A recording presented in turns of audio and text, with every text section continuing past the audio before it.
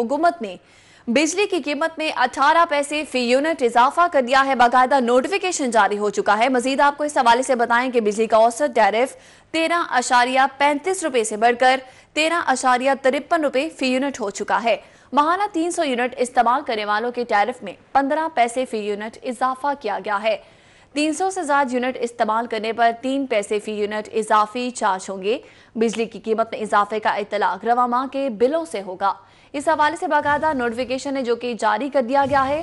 हुकूमत ने बिजली की कीमत में 18 पैसे फ़ी यूनिट इजाफा कर दिया। नोटिफिकेशन जारी हो चुका है।